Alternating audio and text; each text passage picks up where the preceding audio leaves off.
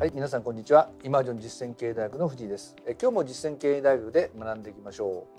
うえ今日はですねノーマライゼーションの視点から24時間テレビまあ、最近は27時間テレビなんてね、えー、日テレに対抗してフジテレビがやってるのかな、えー、もありますけれども、えー、そのあり方を考えるとこんなお話をしたいと思います。えー、まず自己紹介です。えー、株式会社イマージョン組織開発のコンサルタント会社を経営して私自身も現役のコンサルタントです。千葉商科大学の大学院で客員教授として経営学を教えています。東大設する経営学会常任理事事務局長として取りまとめを行っています。まずですね、ノーマライゼーションとは何か、まあね、ひょっとしたらあまり詳しくはない方もいらっしゃると思いますので、ちょっとお話をしたいと思います。障害のある人と障害のない人が同等に生活して共に生き生き活動できる社会を目指すこれはえー、厚生労働省の理念になってます。そして英語でねノーマリゼーション私も英語はねあんまり得意じゃないんですけども日本語にすると標準化正常化、まあ、常態化と、えー、こういうふうに訳されるこれ、ね、辞書からですね。えー、以前はね特異と思われたことは当たり前の状態になっていくことのことをノーマリゼーションと言います。ですから、えー、障害がある人を変えるんじゃなくて障害がある人がありのままで健常者と共に生活できるように周りが変わると。周りを変えると。こういう考え方ですね。例えばバリアフリー化ですね、まあ、車椅子の方も、ね、同じように生活にバリアフリー化、まあ、私私 TOTO のね、えー、3億は TOTO って言った時に本当にね多分ね日本一バリアフリー化が進んでる工場だと思いますよね。えーまあ、とかねあるいはユニバーサルデザインですね。これ健常者だけじゃなくて障害を持つ方もね使いやすく、えー、なると、まあ、健常者にとっても使いやすい。こんなことも重要だって言われています。じゃあノーマライゼーションの歴史について、えー、ちょっと確認をしてみたいと思います。ちょっとね。はい。もともとはですね、えー、1950年第二次世界大戦直後にデンマークで発祥知的障害者の施設の中で非人道的な扱いをされてました。でそうした時にね両親たちがまあ、運動を起こしたのは最初だというふうに言われてます。えそしてですね、えこの、まあ、有名ですね、えバンク・ミケルセ、えこういうね行政官が、えこの概念をえ提唱して、えどのような障害があろうと一般の市民と同等の生活と権利が保障されなければならないと、えこんなふうに言われて本も出されています。そして1959年にはデンマークの法律として成立しました。次にですねスウェーデンこれは知的障害者連盟のベンクト・ニィリエですねがノーマリゼーションの理念をこんなふうに言ってます。社会の主流になっている状態にできるだけ近い日常生活を知的障害者が得られるようにすることとこういうふうにして8つの原理を具体的に提唱しました。これ8つって何かっていうことなんですけどね1日のノーマルなリズム1週間のノーマルなリズム1年間のノーマルなリズムライフサイクルでのノーマルな発達的経験そしてノーマルな個人的な尊厳と自己決定そしてその他文化におけるノーマルな両性の形態すなわちセクシャリティと結婚の保障そしてその社会におけるノーマルな経済的水準とそれを得る権利えその地域におけるノーマルな、え環境水準というように8つの原理を提唱してじゃあ具体的にですねどういうことなのかということを、まあ、制定したというふうに言われています。じゃあ日本のですねノーマリゼーションの取り組みは何かということなんですけども1970年、え障害者基本法ができました。まあでもまだ歴史浅いんですね50年なんですね。えー、そして1981年にはこれは国際障害者年と言われてますけどもこういうことでどんどんどんどん関心が高まってきます。えー、そしてですね実際政府として本格的な取り組みが始まったのはなんとまだ1995年からなんです。私が働き始めて10年ちょうど32歳の時ですね。えー、この時からノーマリゼーション7年計画が政府が提唱されて例えば福祉施設におけるノーマリゼーションまあね当たり前にそれから看護師国家試験に、えー、出題の基準にも入りました。そして、えー、定員10名以下のグループホームができてそして家の近くに点在すると。前は大きなね施設を作ってそこに障害の方がお持つ方がたくさんね、どちらかというと山奥とかね、えー、そういうところでね隔離とは言わないけれどもでね生活してると。これまあ NHK のね特集で詳しくやってましたけどもそんなことがじゃなくて家庭の近くいわゆるね街の中でっていうことになってきたわけです。で日中は例えば職場に行って、えー、夕方に戻って自然にまあ暮らすというようなことが、まあ、健常者と同じようにねあってもいいんじゃないかという、えー、こういう方ですね。そして2011年障害者基本法が改正されます。えー、内閣が障害者政策委員会を設置して、えー、そして障害者基本計画を作って、えー、そして国民が共有できるようになるための視点や方向性を提示して具体的な施策を示す計画を示しました。まあこれ見ていくとね大体分かると思うんですまだまだねあの歴史浅いんですよそして教育現場におけるノーマリゼーション何かということなんですよね。どのような背景を持つ子どももですね大人も共に学ぶ仕組み環境が整った教育システムこれをインクルーシブ教育システムって言われてますけどもこのことの重要性が言われてます。そしてインクルーシブ教育システム何かってことですけどもインクルーシブっていうのはあらゆるものを含めたってことなんですから繰り返しになります。障害がある幼児児童への配慮や学びの選択肢を増やして、障害の有無にかかる可能な限り教育を受けることができるシステム。障害があるかといって、教育はですね受けられないってことじゃないってことですね。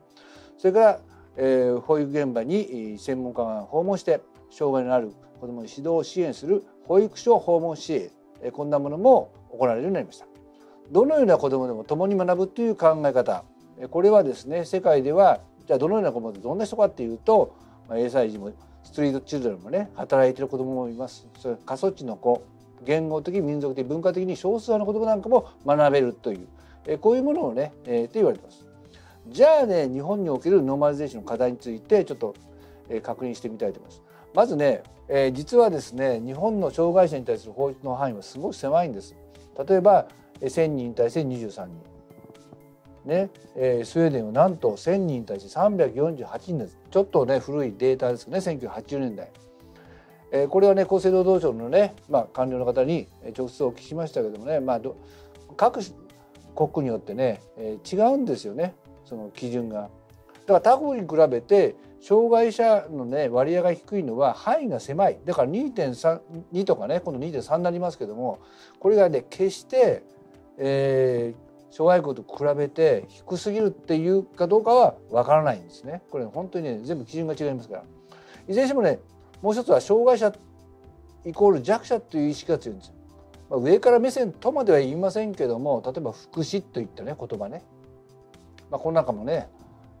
あのこういう言葉が本当に適切かどうかもねノーマリゼーションというあの考え方からしたら、まあ、一回ね見直してもいいかと思います。それから歴史的にね障害者は非常に差別されてきました。はい江戸時代はねでもね寺子屋なんかでは盲人の人の一部がね、まあ、ビアの芸術だとかね、まあ、針治療だとかね,、えー、ねあの目が見えない方の僧侶だとかね、まあ、いろんな形で生活する道がありました。明治10年から義務教育が整備される過程の中で障害児を法的に義務教育の対象から除外されていったんです。これっていうのは、まあ、ノーマリゼーションの考え方からするとちょっと問題じゃないかなというふうに思われます。そして江戸時代からですね昭和戦前までの教育の実態は何かっていうことですけども、まあ、江戸時代の寺子屋に関してはね、まあ、いろんな方が一緒に在籍してたこういう記録が残ってます。またですね小学教師がですねこれがえ京都市上京区にね設立した盲学校ですねこれは日本で最初の特別支援学校と言われています。えイギリス人のですね宣教師のヘンリー・えフォールズがですね呼びかけて東京にもですね、えー、訓盲院っていうのを作られています。えそして、えー、1923年には全国にね、え、盲聾学校が、え、設置が義務化されます。そして1941年ですね、身体教養知的障害その他心身の障害にある児童で特別の養護が必要でが認められるもののために学級または学級を学校を編成するとこういうふうにされました。さらに昭和時代にな昭和の戦後になるとどうなるかってことなんですね。はい、盲学校、老学校、修学が義務化されて、えー、養護学校が制度化されます。えー、1950年これはですね、えー、最初のですね国立的障害の養護学校東京都立青い鳥養護学校ですかね青い鳥って読むんですかねちょっと間違えたらごめんなさい。1979え9年ですね養護学校が義務化されて同時に訪問教育も制度化されました。はい、自閉症とかね情緒障害として一例られて、え、特殊教育の対象にもなります。それまではね身体が中心でした。先生1993年通級これはですねどういう制度かというと、まあ、通常はですね普通の小学校行ってるんですけどもちょっとね、えーまあ、知的な遅れがあったりとかちょっと精神的な部分があった時にちょっと違う学校に、えー、通ってですねそういう障害を持つような方あるいはね、えー、ちょっとボーダーの方なんかが通ってそして訓練を受けるとこういうような制度もされています。そして2007年ですね正式に特別支援学、えー、教育が実施されて、えー、そして養護、えー、訓練から自立、えー、活動の名称改定、えー、そして、えー、学習障害または注意欠陥多動障害なんかも含まれるようになりました。えー、盲老幼学校がえ特別支援学校として統一されたのもこの年です。そして2012年ですね、えー、共生社会の形成に向けたインクルーシブ教育システム先ほどご紹介しましたがねの構築のために特別支援教育がまあ推進されますそして障害の状況それから本人の教育ニーズ本人保護者の意見それから教育学医学心理学専門的な見地から意見。それから学校や、まあ、地域の状況等を踏まえた、えー、総合的な観点から就学を決定する、まあ、ですからね先ほどちょっとねあのこ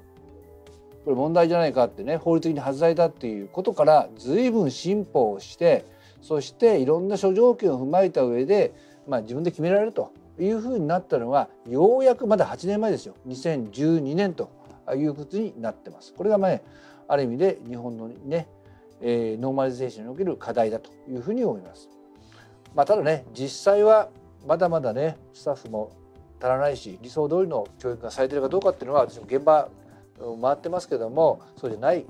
まだね一生懸命皆さんスタッフやってるんですけどもそうじゃない、えケースも多々見ます。一方ですね今回取り上げたのは24時間テレビです。これは日テレがね24時間テレビを取り上げました。え番組の内容は何かはいこれですね、えー、障害者に視聴者に感動を与える番組です。障害者たちが自身のハンディキャップを乗り越えるために企画のチャレンジになってますけども、えー、それに対してねちょっと批判的な内容を NHK が放送しました。え感動ポルノ感動ポルノえこういうことになって健常者に勇気や感動を与えるための道具というようなことでこういうですね日テレあるいはフジテレビがやってるようなことに関してちょっとねあの問題提起するこんなような番組が NHK でも報道されました。1996年に BCC どうなったか。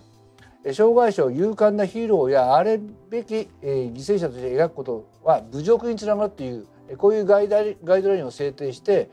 こういう番組はやめた方がいいとこういうふうになってます。ということでちょっと今日のまとめをしたいと思います。今日はねいろんな問題を提供したさせていただいたと思いますけども、はい、一つはノーマリゼーションの考え方は今見てきたようにまだ始まったばかりです。お涙頂戴でなく本来のノーマリゼーションとしての理念が重要だという意味です。ですから日本においてノーマリゼーションが当たり前になって、えー、そんな世界がなったらいいな、えー、そしたら日本はね再び世界から、えー、尊敬される、えー、国になるんじゃないかなと、えー、こんなふうに思います。ということで、えー、今日はノーマリゼーションの視点から、まあ、24時間テレビの在り方を考えるこれ賛否両論ありますけども私もねまあ、感動する面もあしあこういうことをね紹介するっていう面ではいい面もありますけど一方ですねこういう見方もあるんだということを、まあ、今日ね、えー、お伝えしました。ということで、えー、こうしたですね社会的に課題になっていることもお話をしますし経営学の基本ニュースになっていること企業事例等々お話していきますのでぜひ一緒に学びましょう。チャンネル登録 LINE 登録をお願いします。今日もどうもありがとうございました。